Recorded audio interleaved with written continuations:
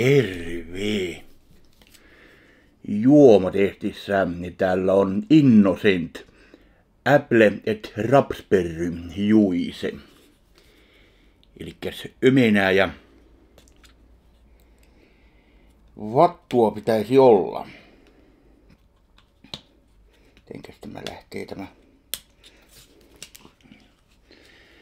Noin ja vatkathanpas ensin. Ja sieltä auki. Tuleepas aika vahva vattutuoksahdus. No, kokeillaanpa sitten maistaa.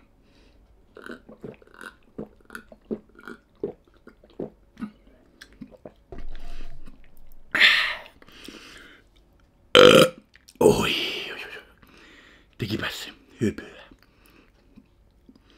Joo, tässä maistuukin toi vattu enemmän mitä ömenä.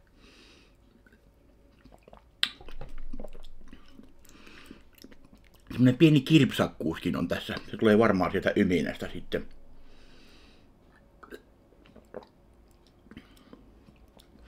Joo, oikein raikas. Raikas, hyvin tällainen kesäinen, kesäinen juoma. Annetaan tuolle arvosanaksi 4 kautta 5. Noin, olokaahan ihmisiksi. Se on morjes.